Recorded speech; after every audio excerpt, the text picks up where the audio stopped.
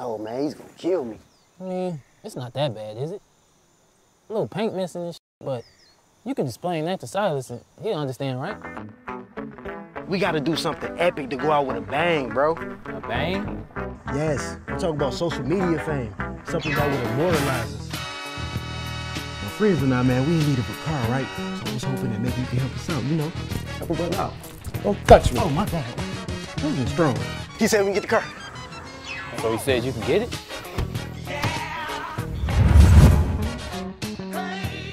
The brakes went out. What are you talking about? The brakes aren't working. The brakes ain't working. What, What you are mean about the? about the brakes? Oh, we about to crash. Oh, oh. I mean, y'all cool enough, but Blaine is a social media celebrity, like me. Yeah, he got 10 followers too? Actually, he got a million followers. Hmm. And he cool. So he'll help us out. No, I'm going to kill you, you fucking sucker.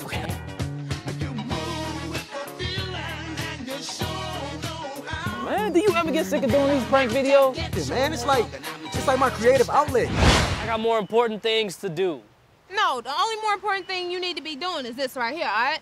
All of it. These, here, right here, especially. So you like pranks? Oh, no. No, no. I don't like pranks.